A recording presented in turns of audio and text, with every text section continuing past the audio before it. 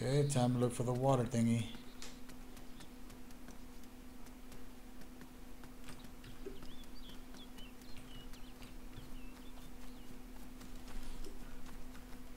And ammo.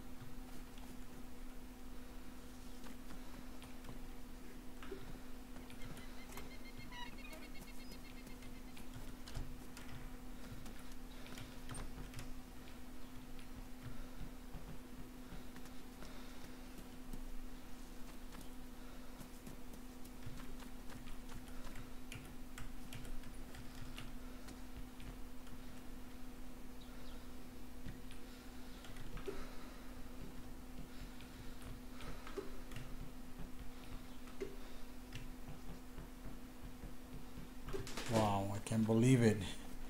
I'm still mind boggled.